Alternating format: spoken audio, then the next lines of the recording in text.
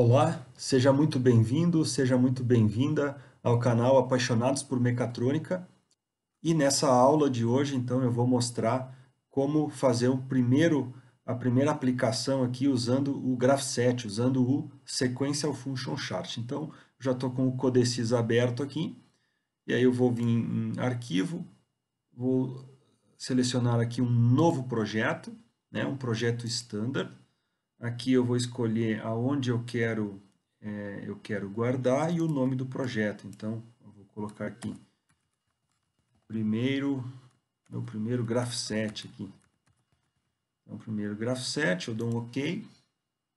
E aqui que vem a, a primeira, o primeiro esquema aqui. Eu tenho que selecionar a linguagem de programação, né? Então, eu vou selecionar aqui a linguagem SFC, que é Sequential Function Chart. Eu tenho que ter um certo cuidado aqui no, no Codesys para não, não é o CFC, não é o Continuous Function Chart, né, e nem o, o CFC com, de página orientada. É o C, é o SFC, Sequential Function Chart. Então eu seleciono então SFC, que é o nosso graph set. Eu dou um OK. E aí, depois que ele, que ele abrir, ele vai carregar todas as bibliotecas aqui, aí eu vou poder então fazer meu primeiro programa usando o Graph7. Né? Lembrando que o Graph7 é uma linguagem é, muito poderosa, é, é, estruturada né, para processos sequenciais. Então vamos lá, eu venho aqui no meu PLC PRG e aí a gente já visualiza aqui a primeira, a primeira estrutura. Né? Na parte de cima eu tenho a estrutura onde eu vou declarar as minhas variáveis locais e eu já tenho um primeiro um primeiro, uma, um primeiro, uma primeira, um primeiro step aqui, né? uma primeira, uh, um primeiro passo, já que é o passo de inicialização, já vem com o nome init, e ele é o passo, como a gente pode ver, ele tem um quadrado dentro do quadrado externo aqui, do retângulo, na verdade, é, indicando que ele é o passo inicial. E aí aqui na minha, no meu toolbox do lado direito, eu tenho aqui passos, transições, ações, jump, macro, branch. Então eu posso as, as, estruturas uh, mínimas aqui para eu poder fazer o meu graph set. Eu vou fazer um, uma, uma, uma estrutura aqui com três passos, então, então eu vou colocar aqui, eu posso arrastar né, uh, manualmente aqui, então, né, um, um, passo, uma transição, eu vou arrastando manualmente, ou eu posso, uh, a partir da transição selecionada aqui, por exemplo, clicar aqui, ó, aqui eu vou inserir Aí eu vou inserir um macro. Não, aqui, ó. Aqui eu vou inserir um, um passo e uma transição uh, juntos aqui, ó. Então, eu insiro mais uma, insiro outra. Né? Notem que a numeração dos steps ela vai crescendo automaticamente, eu não me, não me preocupo com isso. E o final, então, já vem, já vem para o meu init. Uh, muito bem, agora eu vou colocar as minhas ações, então eu arrasto uma ação aqui, né? Então eu tenho, eu posso colocar, em, vejam, quatro pontos aqui diferentes, né? É, um deles é, é, quando ele entra na, no passo, o outro é quando ele sai, o outro enquanto o passo é ativo, e esse que é o de fora aqui, é, ele tem um qualificador aqui. Né? Eu não vou entrar em detalhes aqui dos qualificadores, mas eles são, são, são vários qualificadores aqui, cada um tem um, um, um formato diferente de, de funcionamento. Né? Eu tenho set, reset, eu tenho delay, né? enfim.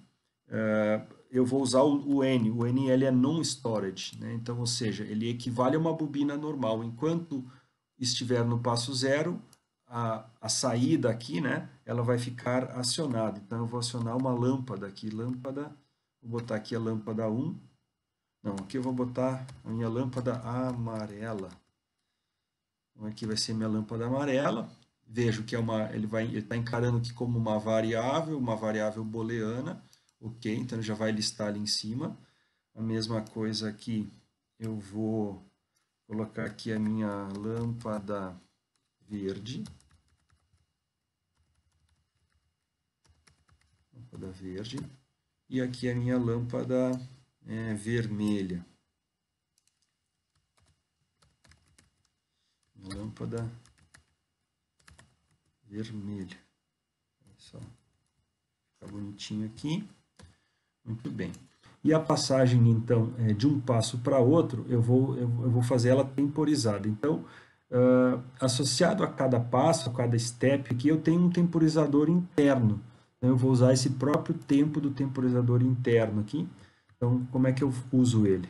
Step, step 0, step 0, ponto. Vejo que ele já, ele já deixa para mim escolher aqui, ó, ponto T.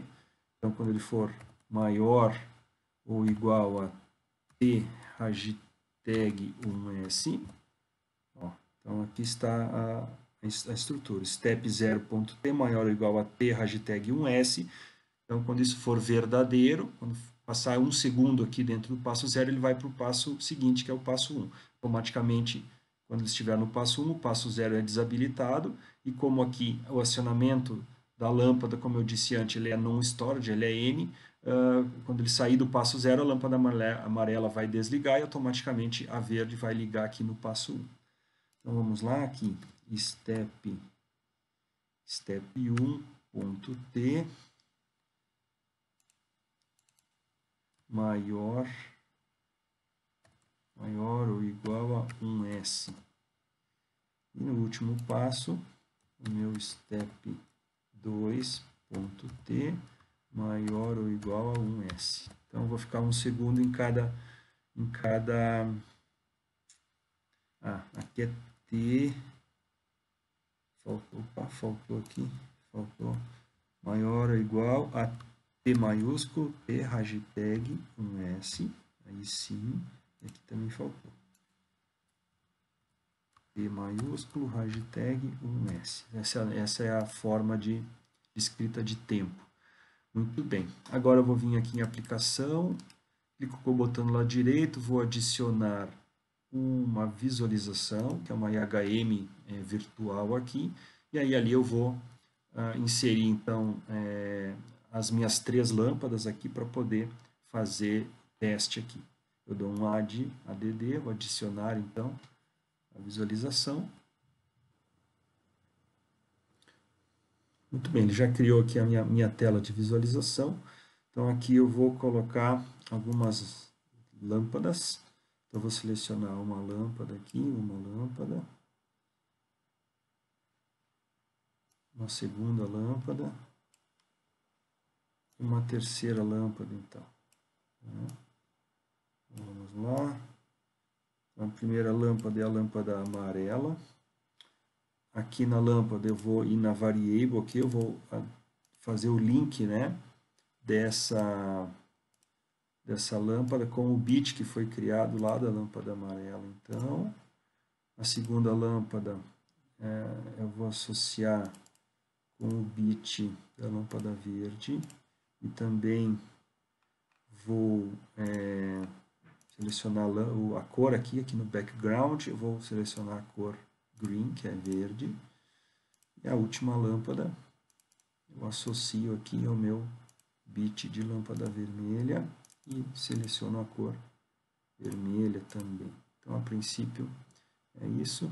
Eu vou colocar aqui na vertical ambos, para eu poder visualizar né, as duas minhas duas estruturas, do graph 7 e das minhas lâmpadas. Salvo, vou compilar agora, para ver se não tem nenhum erro. Então, não, zero erros, zero warnings, e agora eu vou transferir. Já estou com o meu CLP virtual acionado aqui, eu já dei um run nele, no code sys control insistray, e agora eu vou fazer ah, eu já sei, uh, vou antecipar aqui uma correção de erro. Como eu selecionei na, na criação do projeto o standard, ele colocou a versão é, do CLP virtual a maior possível. Então, vou, só que eu estou trabalhando com uma versão uh, anterior aqui do meu Codecis InSys3. Então, vejam, ele selecionou a 3.5, 16, 10 e eu, e eu tenho a 3.5, 15, 15, 30. Então, eu só vou atualizar aqui essa versão. Né? Se eu vier aqui no, no meu codeciso Control o InSys3, deram um about aqui, ó, a versão é a 3.5.15.30, então eu também tenho que garantir isso aqui. Uh, vou compilar novamente. Maravilha, e agora eu vou uh, transferir, faço o login aqui, vou transferir.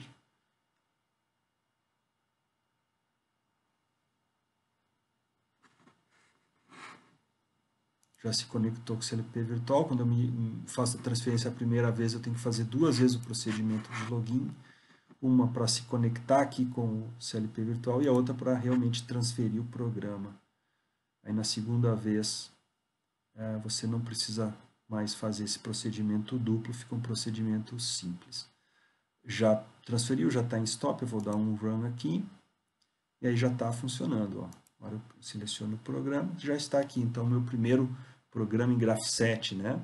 Então, vejam que ele, que ele passa de um passo para outro, né? A regra do Graph7 aqui, para ele passar de um passo para outro, o passo anterior tem que ser verdadeiro e a condição também é, aliás, o passo anterior tem que estar ativo e a condição de passagem de passo tem que ser verdadeira. E aí ele faz a passagem de passo e automaticamente o passo anterior ele é, é desabilitado. Então, isso aqui é, facilita muito então a vida do programador aí quando a gente estiver falando de uh, um programa sequencial, né? uma máquina sequencial aí. A gente sabe que nas automações é, discretas uh, 90% dos casos aí a gente vai ter uma automação sequencial.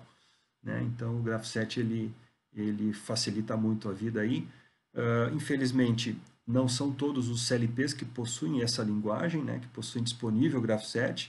Então, para quem é, não tiver disponível o Graph7, a minha sugestão, a minha indicação é usar o cascata elétrica é, com flags e maximização de contatos. Né? Então, cascata elétrica é uma outra técnica estruturada de programação que eu indico no caso de, de não ter disponível o Graph7. Então, uh, você que está aí no canal, né, uh, existem outros, vou deixar aí na descrição desse vídeo um, um, link com algumas aplicações usando cascata elétrica também, se você quer, quer ver como é que ele funciona, quer é, ter curiosidade dessa, dessa estrutura de programação.